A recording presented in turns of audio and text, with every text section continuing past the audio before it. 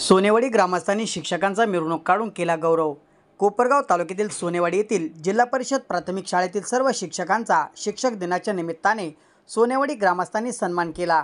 पारंपरिक डपडे व पिपाणी वाद्याच्या गजरात गावामध्ये रथाचा आकार असलेल्या फोर व्हीलर गाडीतून त्यांची भव्य अशी मिरवणूक काढण्यात आली. गावकऱ्यांनी केलेल्या सन्मानामुळे शिक्षक भारावून गेले.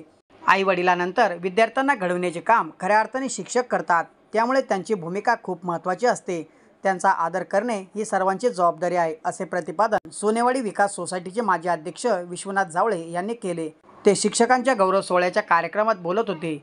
यावेळी ग्रामपंचायतीचे मार्गदर्शन निरंजन गुडगे उपसरपंच संजय गुडगे ग्रामविकास अधिकारी भानुदास दाभाडे तंटामुक्ती समितीचे माजी अध्यक्ष धर्म जावळे अध्यक्ष राजेंद्र गुडगे उपाध्यक्ष अनाजित जावळे ग्रामपंचायत सदस्य आबासाहेब जावळे चिलू जावळे अशोक घोडेराव भाऊसाहेब खरे गोपीनाथ जावळे तुकाराम जावळे द्वारकानाथ चव्हाण मच्छिंद्र गुडगे पुंजारी आव्हाड सीताराम गांगोडे शाळेचे मुख्याध्यापक महेंद्र रहाणे शिक्षक विलास गवळी चंद्रविलास गव्हाणे कांचन मोकळ सुरेश धनगर शाळा व्यवस्थापन समितीचे अध्यक्ष लक्ष्मण जावळे उपाध्यक्ष सोमनाथ रायबान सदस्य योगेश जावळे राजेंद्र सुदक सुनील जावळे आदीसह विद्यार्थी व ग्रामस्थ मोठ्या संख्येने उपस्थित होते.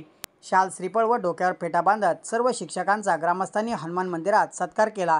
यावेळी ग्रामसेवक भानुदास दाभडे यांनी शिक्षक आणि विद्यार्थी यांच्यात असणारे नाते विशद करताना सांगितले की अभ्यासावर आधारित विद्यार्थ्यांची प्रगती व समाजातील विविध जनरल नॉलेजवर शिक्षक प्रकाशझोत टाकत असतात. त्यामुळे शिक्षकांचे अनन्यसाधारण महत्त्व आहे. तर सत्काराला उत्तर देताना शिक्षकांनी ग्रामस्थांनी केलेला शिक्षक दिनाच्या दिवशी सन्मान आमच्यासाठी खूप मोठा गौरव असून आमची खऱ्या अर्थाने यातून जबाबदारी वाढली असल्याचे सांगितले. गाव शाळेत येण्यापेक्षा शाळा गावात कशी येईल याकडे आम्ही जास्त प्रमाणात लक्ष देऊ. विद्यार्थ्यांचा शैक्षणिक गुणवत्तेबरोबर सर्वांगीण विकास हेच आमचे यापुढे ध्येय असणार असल्याचेही मुख्याध्यापक महेंद्र रहाणे विलास गवळी व चंद्रविलास गव्हाणे यांनी सांगितले. कार्यक्रमाचे सूत्रसंचालन करत आभार लक्ष्मण जावळे यांनी मानले.